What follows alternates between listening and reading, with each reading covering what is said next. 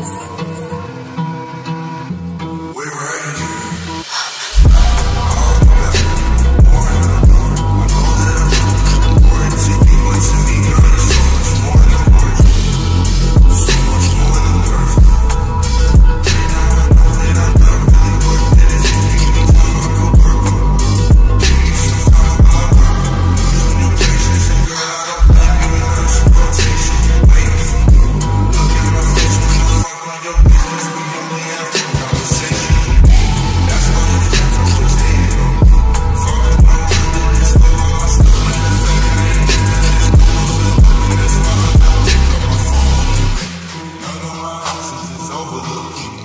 burn a fish as much as I do. That's what you think.